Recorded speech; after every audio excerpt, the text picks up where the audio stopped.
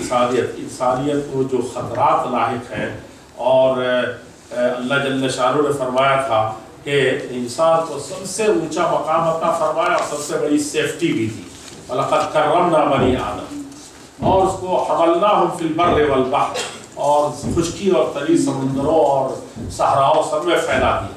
اب آپ دیکھیے، سمندر میں بھی کوئی آدمی محفوظ نہیں ہے، اتنی آلودگی ہے کہ مچھلیاں پناہ مانگ رہی اور ہوا اور فضاؤں میں اتنی آلودگی ہے کہ سانس لینا دوبھر ہے۔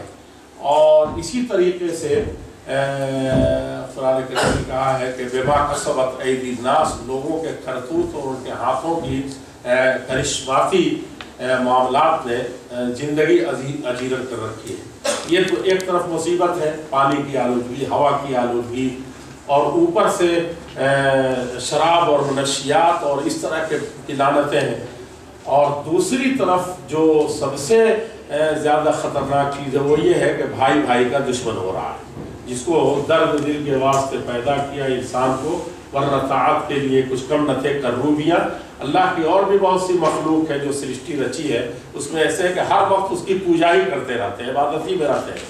وہ کم نہیں تھے، اوپر والے کو اگر اس کی ضرورت تو نہیں تھی لیکن انسان کا جو مسئلہ تھا وہ صرف درد دل کے لیے تھا، بھائی چارگی کے لیے تھا اور محبت کے لیے تھا۔ اس کے لیے انسان پیدا ہوا تھا۔ وما سمی الانسان الا لان سے ہی انسان کا نام انسان اسی لیے پڑا کہ وہ دل کی گہرائیوں سے ایک دوسرے کو چاہے۔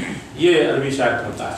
تو ان سب کے تناظر میں اس وقت میڈیا کے لوگ ہمارے سب سے بہتر طور پر جانتے ہیں کہ انسانیت کے تحفظ کے لیے کتنے میدانوں میں کام کرنے کی ضرورت ہے۔ کل قرآن نے سب سے پہلے اعلان کیا تھا کہ وہی دل سہیلت بچیوں سے پوچھا جائے گا قیامت کے دن کہ کس بنیاد پر زندہ دفن کی گئی۔ آج یہ ہے کہ پیدا ہو کے دنیا تو دیکھا تھا، اس کے بعد دفن کی گئی۔ آج اس کے آنے سے پہلے کروڑوں کی تعداد میں دنیا میں دفن ہو جاتی ہے۔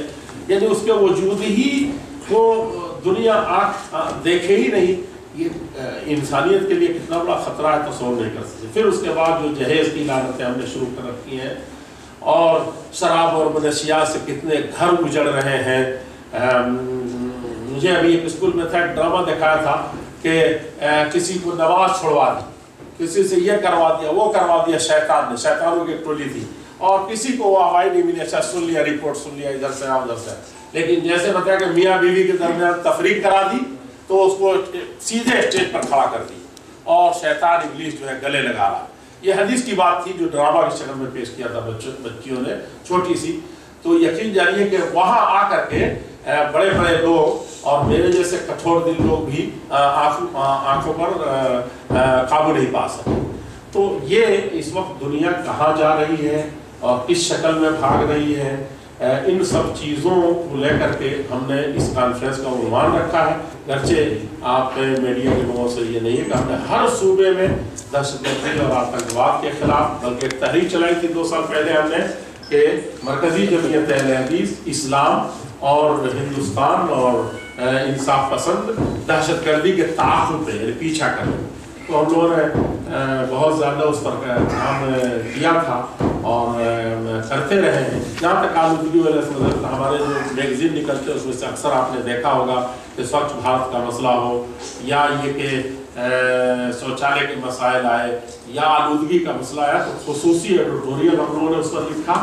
جب پانی کا دلی گورنمنٹ نے کیا تو بڑے جشن منائے جا رہے تھے، پانی کی قیمت کم ہو گئی اور یہ اتنا مفت ملے گا اور یہ ملے گا۔ تو اس وقت ہم کسی اور خواب میں تھے اور صبح ہوتے ہوتے ہم نے اخباروں کو دیا تھا بہتوں نے چھاپا بھی کہ پانی کی حفاظت جل ہی جیون ہے۔ قرآن کہتا ہے وجہ اللہ کل شہید ہے اور اگلی بار اللہ نہ کرے کہ لڑائی پانی پر ہونے والی ہے۔ سب سنتے تھے، لیکن حقیقت یہ کہ قرآن نے کہا کہ نہر اور سمندر سی کے کنارے بھی ہو اور وضو اللہ کے لیے کرنے اور نماز پڑھنے کے لیے، اس میں بھی بہت زیادہ یہ سے کام ہو۔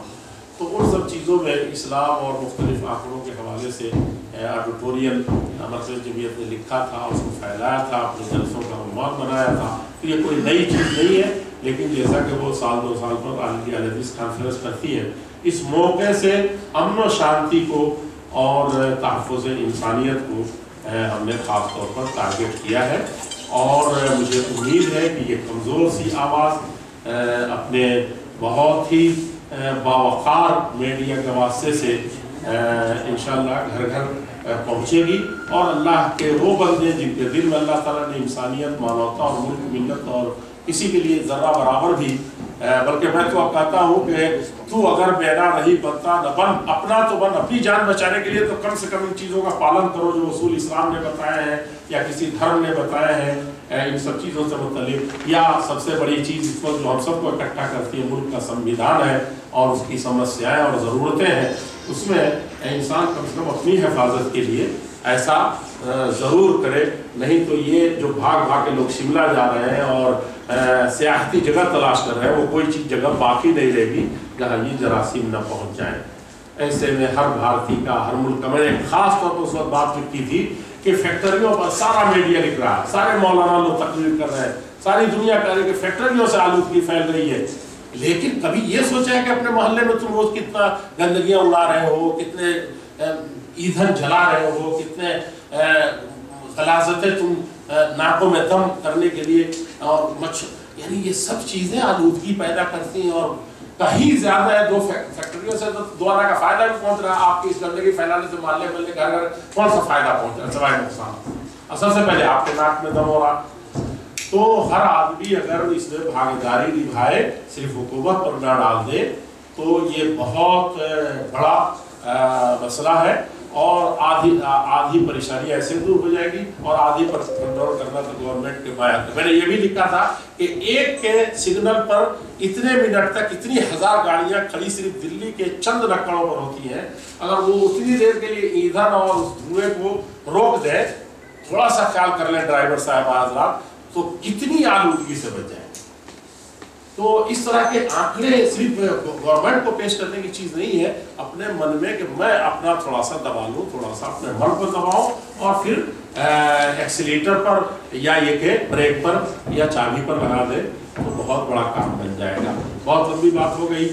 میں آپ حضرات کو بہت